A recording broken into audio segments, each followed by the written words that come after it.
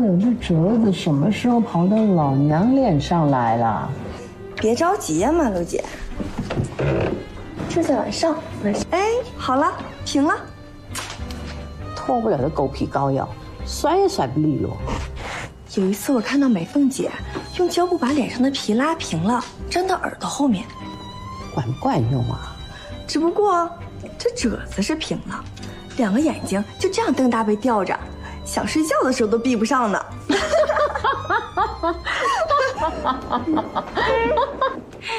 我倒要看一看，是哪个死丫头在背后说老娘的坏话呀？